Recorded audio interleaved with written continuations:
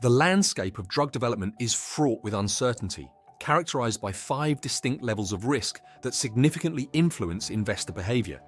Approved drugs, such as Tysabri, provide a degree of security appealing to even the most risk-averse investors, as seen in Royalty Pharma's $2 billion acquisition of Tysabri royalties. However, even phase 3 trials carry inherent risks, highlighted by the failures of several Alzheimer's trials. The journey from preclinical to clinical trials reveals escalating uncertainty, which often deters investment.